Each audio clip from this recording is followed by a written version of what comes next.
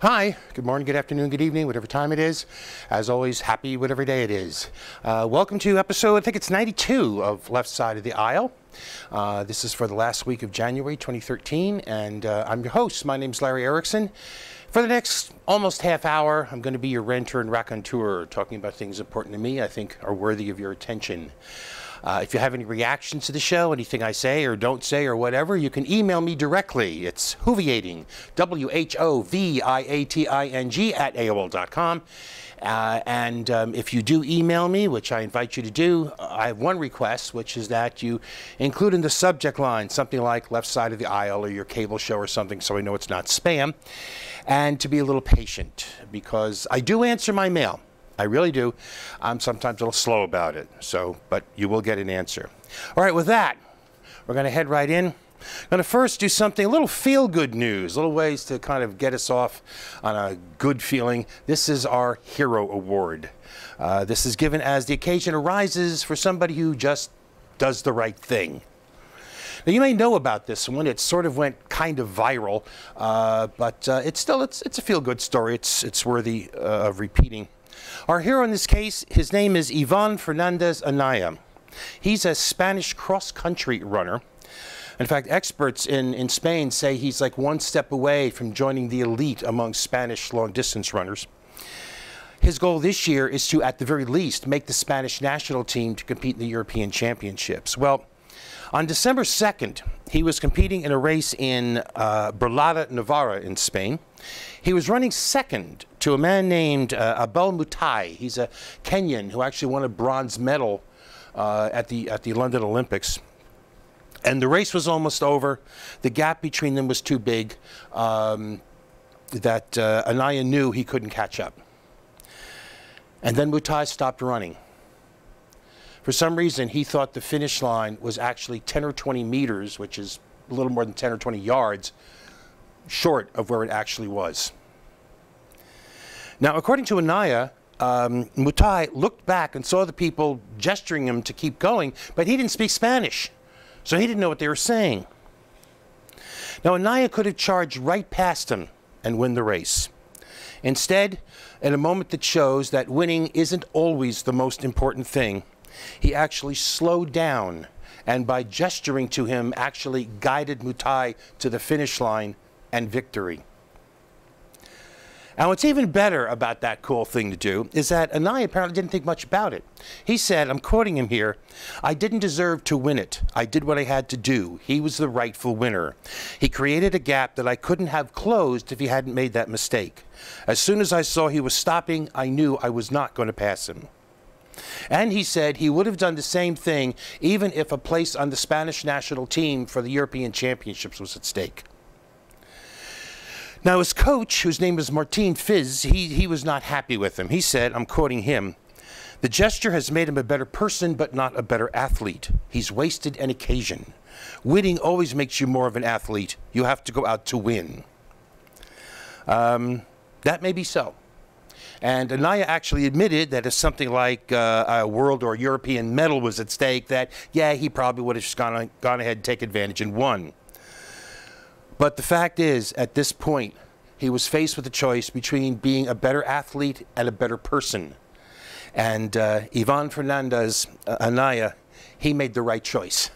And for that, he is a hero. All right, we're moving on from there with uh, a, a, bit of good news. Again, let's let's get some good news here. You know those those airport scanners, uh, the ones that uh, with the revealing body images, the one people are calling strip scanners. They're going away. The Transportation Security Administration says they will all be gone by June. The idea of these scanners was that by using them, that the security personnel could uh, could detect objects, including metallic ones like guns and, and, and non-metallic ones like plastic explosives, for example. The problem with them was is that they also revealed everything else that you normally want to keep secret. In the wake of persistent large-scale protests by the flying public and uh, a number of occasions where particularly female passengers were told things like, well, one was told that she had to be scanned multiple times because she had a cute figure. Um, finally, the feds told the two companies providing these machines that they had to fix this. Now, one of them was able to adjust their software so that what's displayed is just a generic outline. Um, those machines are staying. The other one couldn't fix it. They're going. Those machines are going. So it's one small victory for privacy, which unfortunately the overall record on that particular issue was still well into the loss column, and that's something I'm going to have to spend more time on soon. But any event, for the moment, yeah, one nice little victory. All right, we're going to move on from there to our regular weekly feature, the outrage of the week. On January 16th, the Federal Reserve Board announced a settlement with Goldman Sachs and Morgan Stanley, uh, those companies, to settle claims of wrongful foreclosure and other forms of mistreatment uh, and illegality uh, that were inflicted on homeowners. The deal is similar to one reached a week before with 10 other major lenders. Those were the Bank of America, JP Morgan Chase, Wells Fargo, Citigroup, MetLife Bank, PNC Financial Services, Sovereign Bank, SunTrust, US Bank, and Aurora. Now, Goldman Sachs and, uh, and Morgan Stanley will together put up $232 million in direct payments to eligible homeowners. Uh, and $325 million in other assistance such as loan modifications. That's a total of 557 million. For all 12 banks together, it's three and a half billion in ca cash compensation and five and a half billion in forms of assistance. That's nine billion dollars, which may seem like a lot of money, and it is, but not to these people. You know that $557 million that Goldman Sachs and Morgan Stanley together are to put up to compensate people for what they did to them? Morgan Stanley made $507 million in profits in the fourth quarter of 2012. And as for, as for Goldman Sachs, okay, in 2012, it had profits for the year of $7.3 billion, which means it alone could cover almost the entire cost of this settlement paid by all 12 banks together with just one year's profit. Remember, that's not gross income, that's not uh, sales or anything, that's profit. I mean, this is nothing but a slap on the wrist. Uh, you know, it, it's, it's uh, especially in light of the fact that the banks are going to be able to write off huge potential losses because of this. And in fact, it's not even a slap on the wrist.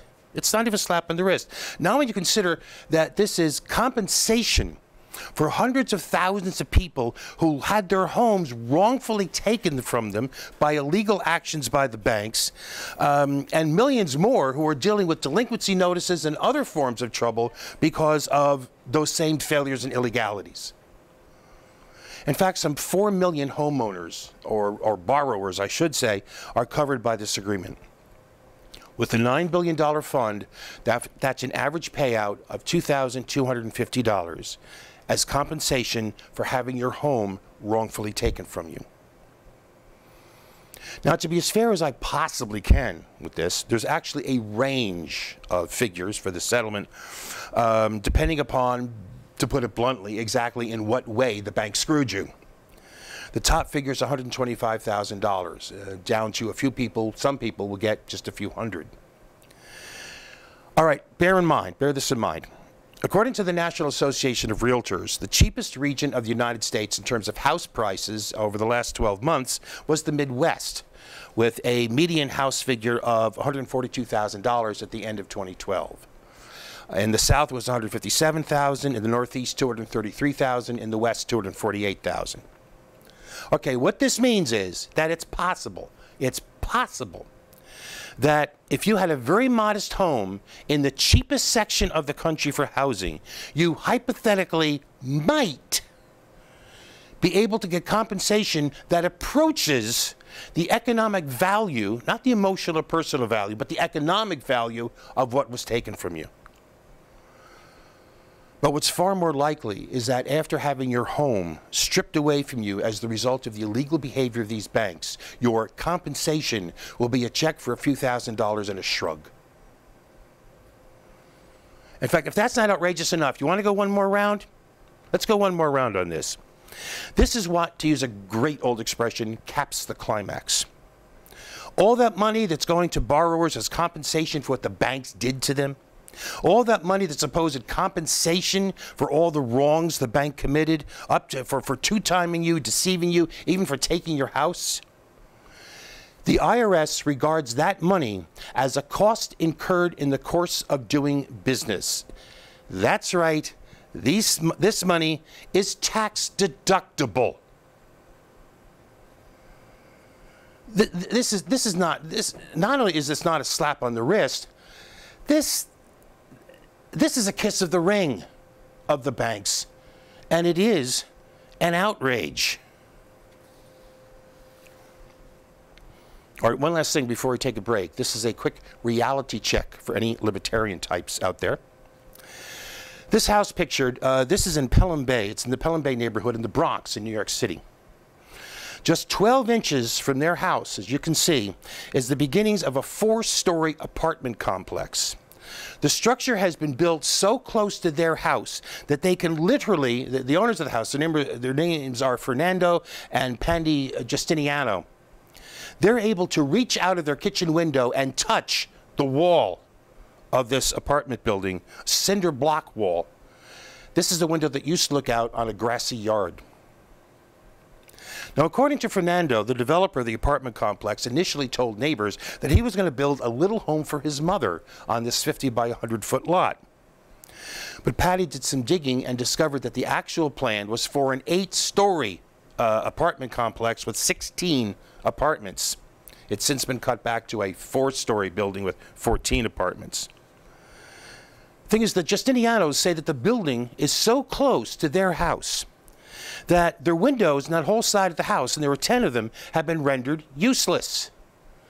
There is, uh, it, they're just inches from a cinder block wall. There's no light that gets into their, to their dining room now. Um, furthermore, the structure, this apartment complex, is so close that the Justinianos can no longer maintain or clean the gutters on that side of the house. They're literally touching this building. Here's the point. What can the Justinianos do about this? Absolutely nothing. Because there is no government regulation, there is no zoning requirement to prevent the developer from doing exactly what he's doing. So that's just a reminder. You really don't like government? This is what you get. Money makes might, and might makes right. We're going to take a break.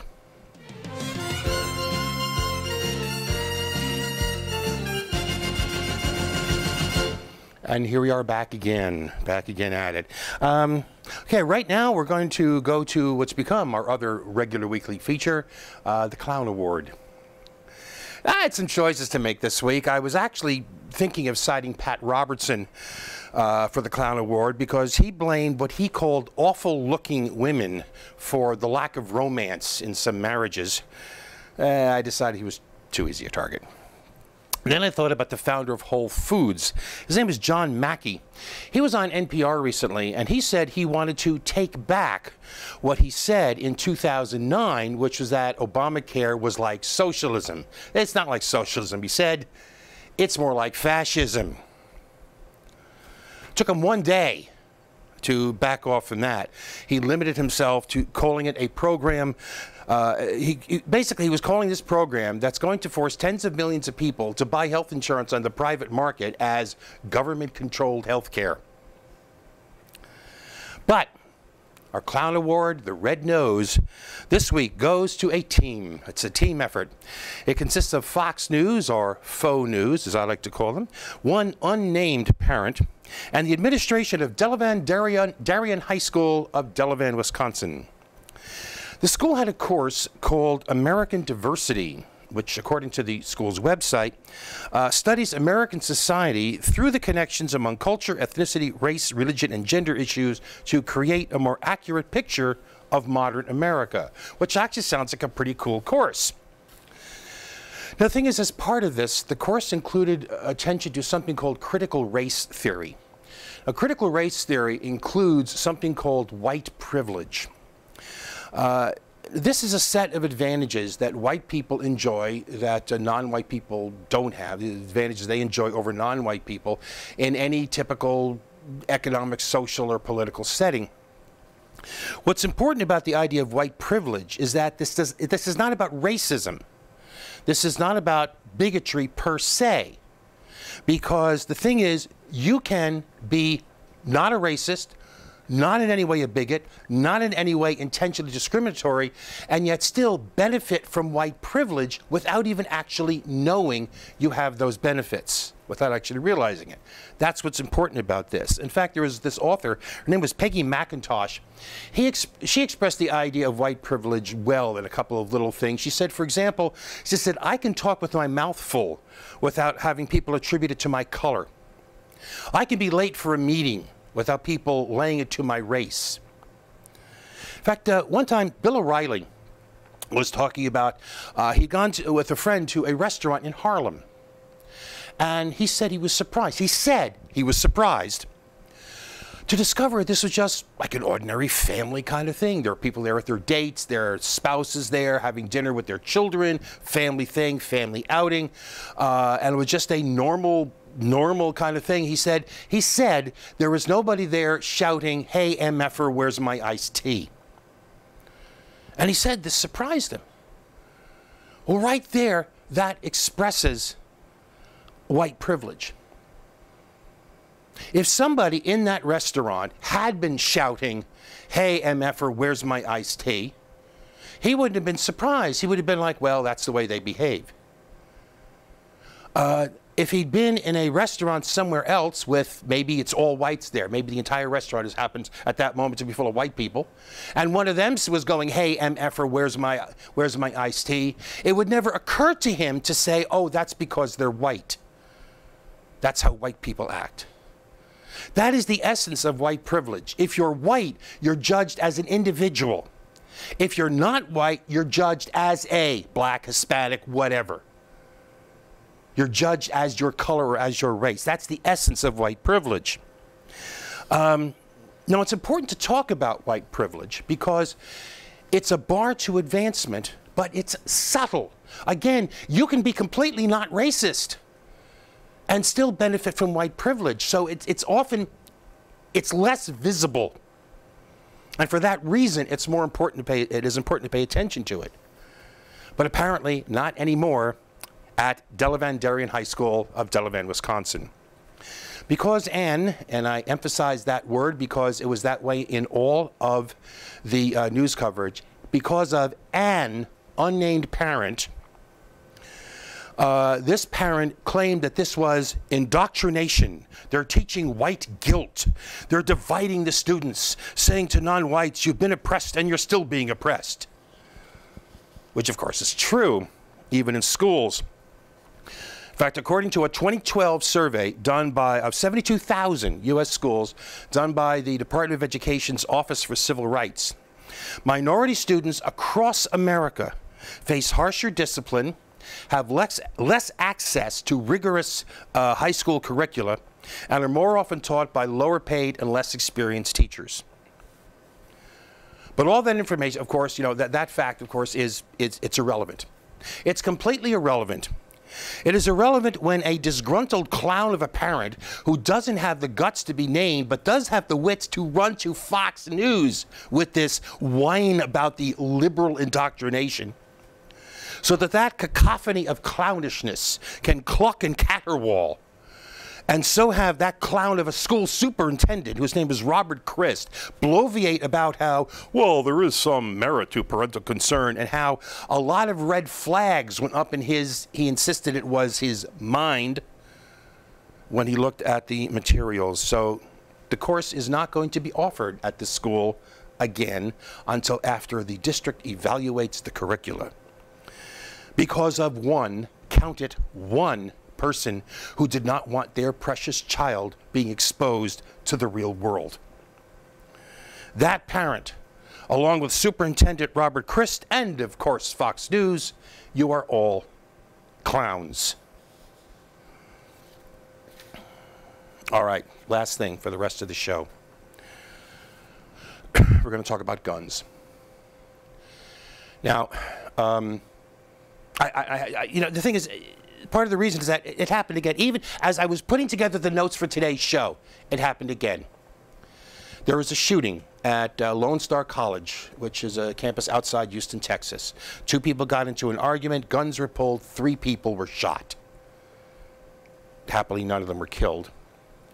Uh, now, this, this actually, this would not be considered a, a mass shooting because it only involved three people and nobody died.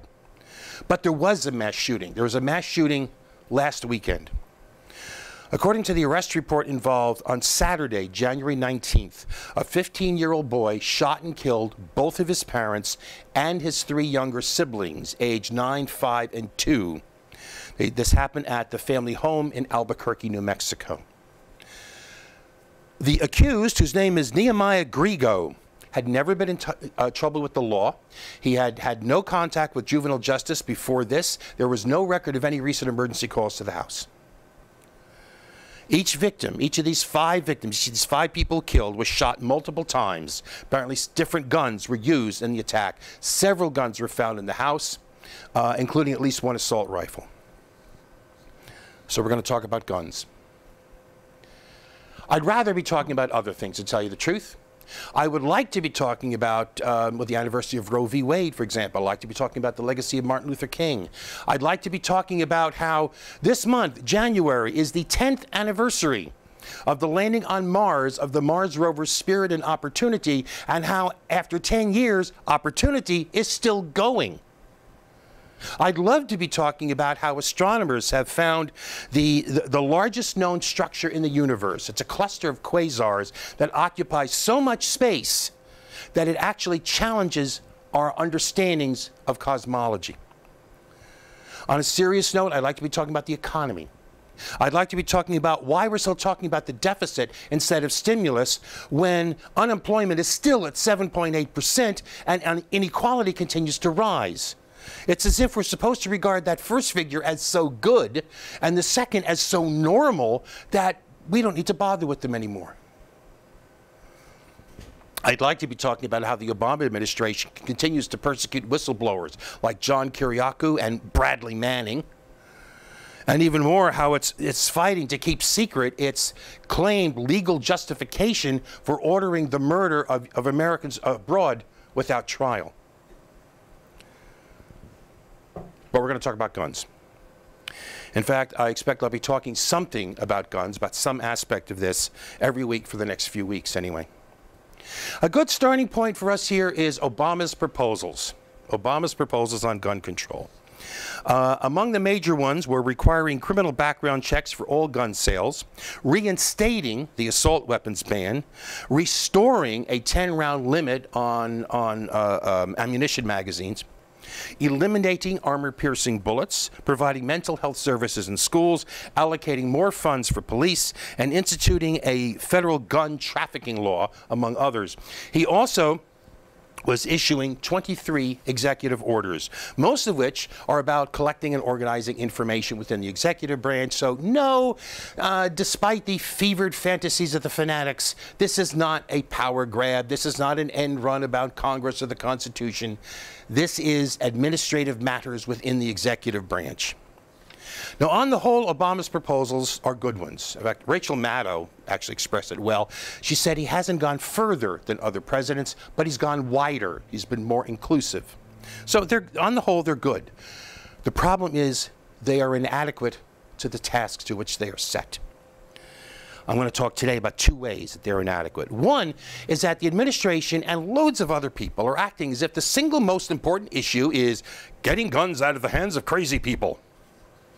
That is a misguided, useless, feel good deal that does more to make us feel we're doing something than to actually accomplish anything.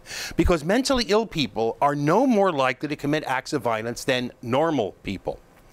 There is no evidence that the mentally ill possess or use guns any more than normal people. In fact, the best available data indicates that no more than about 4% of the violence in the United States can be ascribed to mental illness, which means if we eliminated every act of violence by every mentally ill person, we'd still have violence at 96% of the levels we have it now.